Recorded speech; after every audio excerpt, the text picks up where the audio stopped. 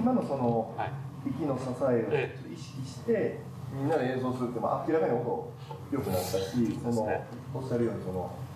楽譜に書いてある役割がはっきりしてるっていうのは、えだから基本的にもう少しこう支えをいつも意識しながらはい。普段から演奏していった方がいいという。そうですね。その管楽器の教わった最初の方に必ず呼吸法を教わるじゃないですか大概日本だと腹式呼吸なんですけど、まあ、実は腹式呼吸がやりやすい人と胸式呼吸をやりやすい人がいるんですがやってることは快適以上に吸う。いっぱい吸う。これは2つ意味があります。たくさん量を、えー持っといて長いフレーズとか大きな音に対応できるっていうのもありますしもしかしたらそれ以上に大事なのがこれが後で役に立つ。膨らましといたことで、えー吸う膨らましました。この後吐くってことは体はほっとけばしぼみます。そうすると息が出ていく一方でスペースもあんまりコントロールできません。そこでさっき思いっきり吸っといて使った筋肉が緩まずに使いっぱなしだったら、まあ、吐く息に対してブレーキがかかるわけですね。だからこう安定させたりとかあとはピアニッシモで入る時に、えー引いた息で少ない息でやろうとするともうまず失敗するじゃないですか。怖いし。けどピアニッシモ吹く前にでやっといて支えといたら怖いけど気持ちでは。であの体的には積極的にパワーを使ってピアノピアニッシモの発音するっていうことが容易になるとか可能になる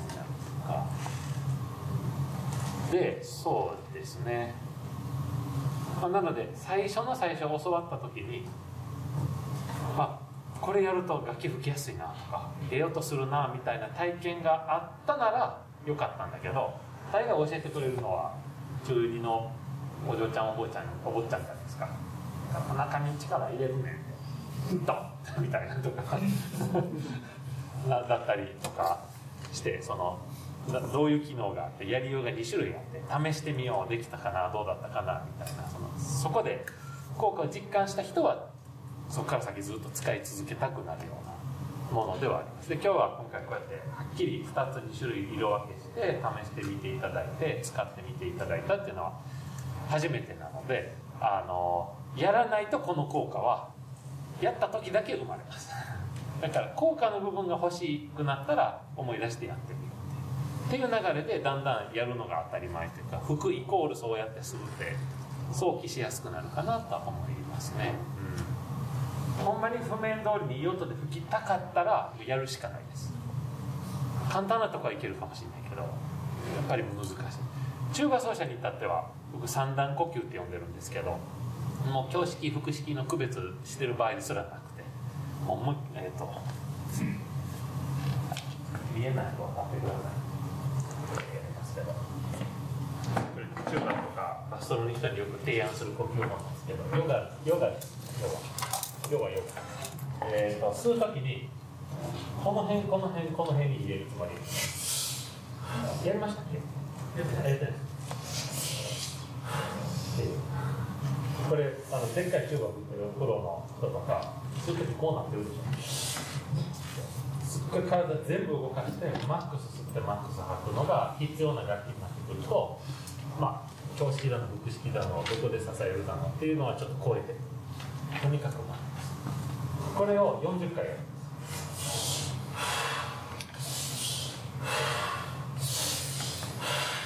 やりたい人一緒にどうぞ。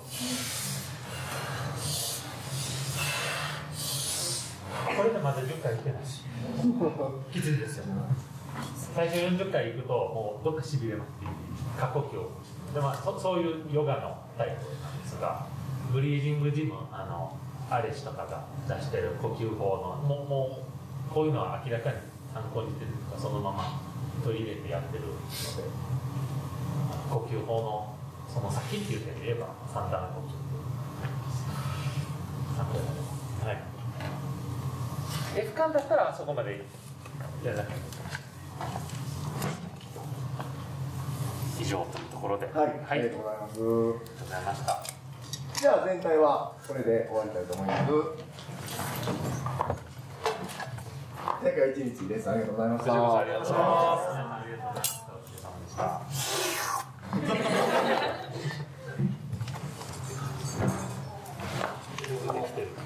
式よりも少し早めに前めにっていうのがすごくあの良かったです。すごく作りやすか。